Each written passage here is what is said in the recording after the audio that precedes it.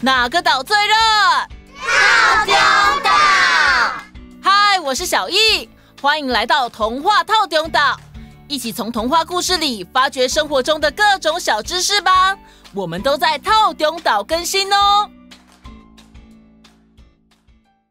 大家好，各位岛民们好。Hello，大家好啊。饺子姐姐，你赶快继续说上次的希腊神话啦。对啊，对啊。我回家都会想到这个故事，好想赶快知道后面发生的事哦。就像 Netflix 追剧，越看越想看。我知道希腊神话真的很精彩，各种剧情都让大家意想不到。那我们就继续来说故事吧。上次我们说到，克罗诺斯推翻了父亲乌拉诺斯，成为了第二代王者。掌权的克罗诺斯后来利欲熏心。不但跟自己的姐姐瑞亚女神成婚，还因为嫌弃独眼巨人跟百臂巨人六兄弟，又把他们送回地狱深渊封印起来。这让母亲盖亚非常生气。盖亚预言说：“你也会跟你父亲一样，被自己的孩子打败，赶下王位。”克罗诺斯想起了父亲的遭遇，不禁害怕起来。为了防止预言成真，他一把抢走妻子瑞亚生下的孩子，直接吞进肚子里。啊！嗯啊！你干嘛把孩子吞了？后来瑞亚每产下一个孩子，克罗诺斯都会立刻把孩子夺走，然后吞下肚。前前后后一共有五个孩子被吃掉，瑞亚因此心生不满。就在第六个孩子宙斯即将诞生的时候，他跑去向盖亚求助。盖亚看到不停失去孩子的瑞亚，便指引他说：“你到克里特岛的洞窟生下孩子，我会安排那里的精灵保护他。你回去的时候，就用羽毛包覆石头，再用布包起来，伪装成小婴儿，交给克罗诺斯就行了。”这么做有办法瞒得过他吗？放心吧，我了解克罗诺斯，他虽然充满心机，但却笨笨的。哦，好，我知道了。瑞亚听从盖亚的谏言，前往克里特岛产下宙斯，然后用布包裹石头羽毛带回去。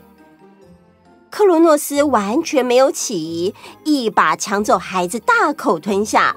啊啊！哎呦，哎，这是出生的孩子，感觉怎么这么硬啊？好，哎，好难咬啊！嗯，你就慢慢咬吧。哇哦，母亲大人真厉害！还好克罗诺斯够笨，成功逃过一劫的宙斯，就在祖母盖亚的帮助之下。由克里特岛的精灵们照顾养育。为了不要让宙斯的哭声传出去，年轻力壮的精灵们会持续不断的用长枪敲击盾牌，发出声响，借此盖过宙斯的哭声。就在宙斯长大成人之后，盖亚带着智慧女神来到岛上跟宙斯会面。盖亚告诉宙斯说。克罗诺斯吃了你的哥哥姐姐们，你去解救他们，并打倒克罗诺斯吧。可是我该怎么做呢？智慧女神拿出一瓶药给宙斯，这瓶是催吐药，只要把它掺进克罗诺斯的酒水里就行了。于是宙斯偷偷的把催吐药混在神酒里。克罗诺斯没有丝毫察觉，就把药喝下去了。开始感到身体不适的克罗诺斯，首先吐出了那块当年被用来代替宙斯的石头，接着又把五个被吞下肚子里的孩子吐了出来。中计的克罗诺斯非常愤怒：“啊！你们居然敢联合起来算计我，不可原谅！”我要召集人马讨伐你们！宙斯也不甘示弱的说：“你这个暴君，我们所有兄弟姐妹也会团结起来战斗的。于是，被救出来的哥哥姐姐们以宙斯为首，宙斯还集结了同一阵线的神明，组成奥林帕斯神族，展开了对抗泰坦神族的战争。泰坦之战正式爆发。因为两边都拥有强大的力量，因此双方激起的战火也相当激烈。而且，因为双方都是神，所以他们不会死，因此胜负难分。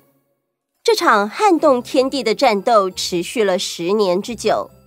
盖亚见战况焦灼，便对宙斯说：“你去把被封印在地狱深处的三位百臂巨人伯父。”以及三位独眼巨人伯父解放出来，他们拥有的力量绝对可以帮你们打赢泰坦神族。宙斯等人赶紧到大地裂口向塔尔塔罗斯请求帮助，并且成功的解救了百臂巨人跟独眼巨人。在伯父们重获自由回到地面的时候，宙斯还献上了食物跟酒水。这让伯父们非常开心，同意加入宙斯的阵营。三位独眼巨人说：“为了表达感谢，我们有三样神器要送给你们。首先是宙斯，我要送给你能够摧毁一切的雷电；然后是波塞顿，我要送给你能支配大海跟陆地的三叉戟。”最后是黑帝斯，我要送给你能够隐身的隐形头盔。宙斯阵营做好一切的准备之后，就来到了最后决战的地方。宙斯说：“哥哥们，这是我们的最后一战了。波塞冬二哥，你先使用三叉戟引发滔天巨浪跟地震，扰乱对方，没问题。然后黑帝斯大哥。”你使用隐形头盔的能力，悄悄接近泰坦神族，夺走他们的兵器。知道了。然后我会不断的放出雷电，灼烧泰坦神族的双眼，剥夺他们的视力。白臂巨人伯父，请您配合我的闪电攻击，朝对方扔石头。包在我们身上，我们会挑巨大的石头来扔。好，我们上吧。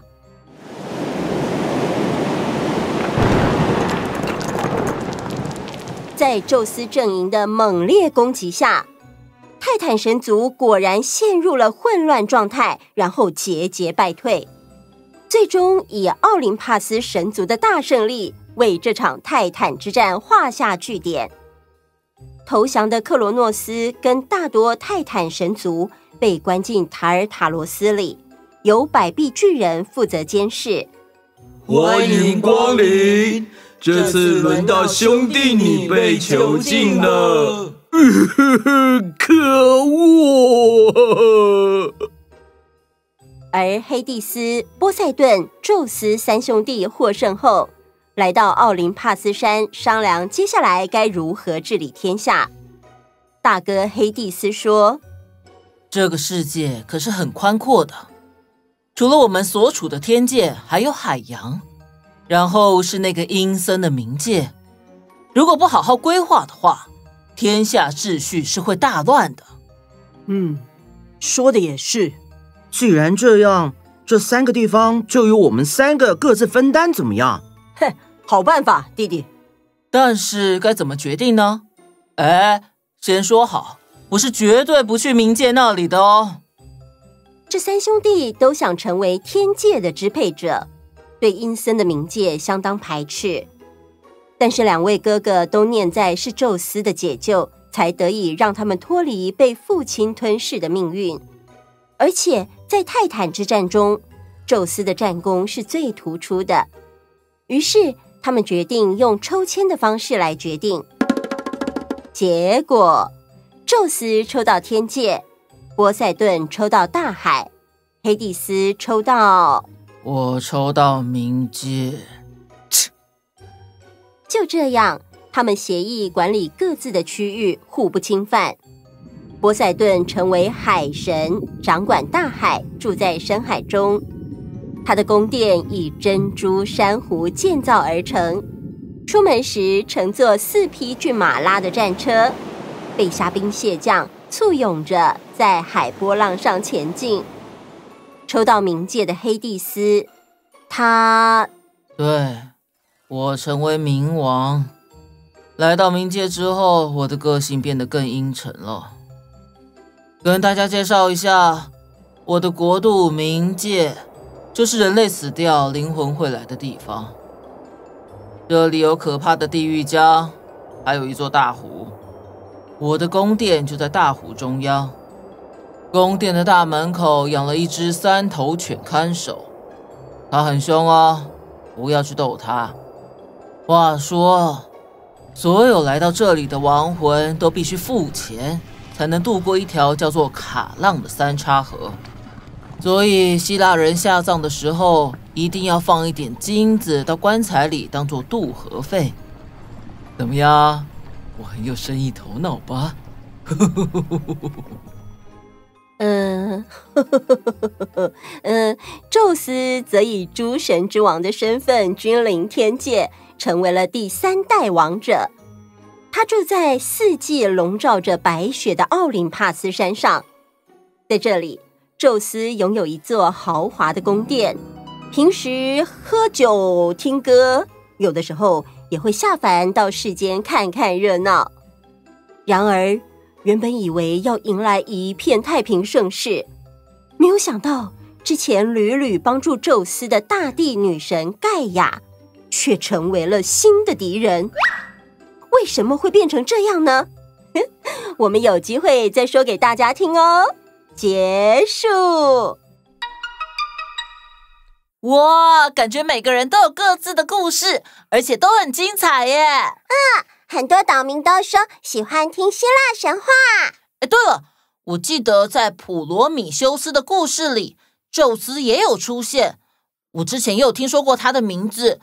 感觉宙斯是希腊神话里很重要的人物哎。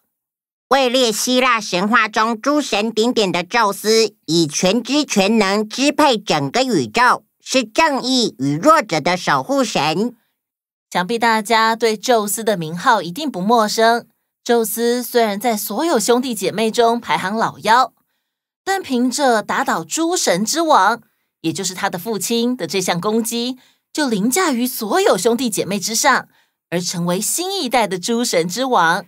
在故事中啊，我们知道宙斯得到了雷电，传说雷电发出的雷霆能够烧尽全宇宙的一切，是威力相当强大的武器。宙斯虽然拥有惊人的能力，但是个性却十分的糟糕。他认为啊，只要失败就毁掉重来。所以，希腊众神遭遇到的各种夸张情节，有很多也是宙斯的坏脾气造成的哦。未来有机会再继续说下去吧。我们今天的时间差不多喽，欢迎从节目简介下方链接来赞助岛屿建设。如果有什么想听的故事，也可以跟我们许愿哦。好的，那我们下次见喽，拜拜。